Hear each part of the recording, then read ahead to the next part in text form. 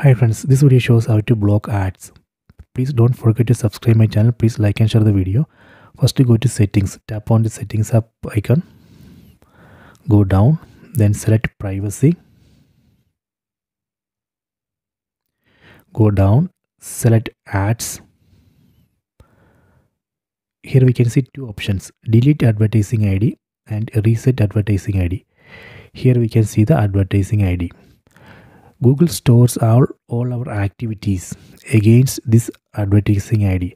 Then based on that activities, Google shows the ad.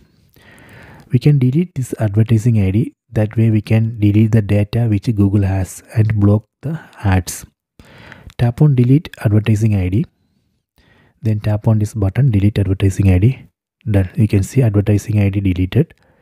Then we can create a new advertising ID tap on get new advertising id then tap on confirm. See new advertising id has been created. Here we can see the id so this way we can delete advertising id and delete the data which google collected. So that way we can block google from showing personalized ads.